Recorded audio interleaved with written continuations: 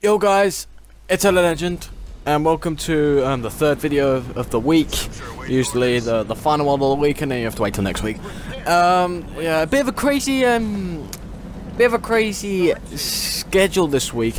It's because um, I had an operation this earlier this week, and things have been a bit like the the schedule's been a bit mucked up. But we'll be back to probably next week or something.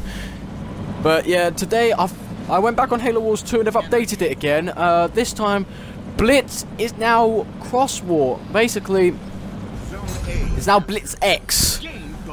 I know Blitz is now crossplay between Xbox One and PC um, versions of Halo Wars 2.